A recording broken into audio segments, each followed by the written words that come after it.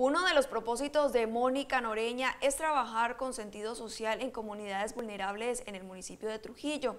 La aspirante al consejo aseguró que Diego Guerrero, candidato a la alcaldía, es referente para las comunidades.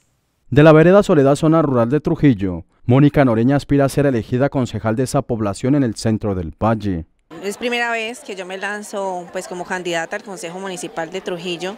Yo soy de la vereda La Soledad, soy una mujer que tiene 25 años, soy una mujer emprendedora que quiere luchar por las mujeres, por los campesinos y por toda la comunidad trujillense.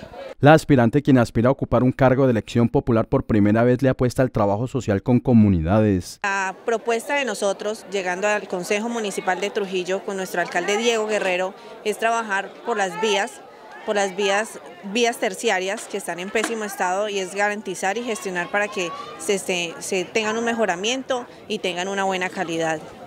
El tema de la mujer, de la mujer emprendedora, que todas esas mujeres que tienen sus, pequeños, sus pequeñas familias, que dependen de, de un sustento diario, de un día a día. Mónica Noreña señaló también que Diego Guerrero representa la voz de un pueblo que clama progreso para Trujillo.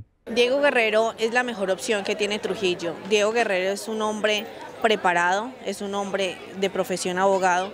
Me parece que es la mejor opción que tenemos para nosotros, para que Trujillo tenga el cambio y tenga el progreso que merece, en tanto en infraestructura como en vías, en la mujer, en la niñez. Es un hombre de familia que está preparado y tiene la madurez necesaria para administrar nuestro municipio. La candidata aspira a la corporación edilicia por el Partido Conservador en Trujillo.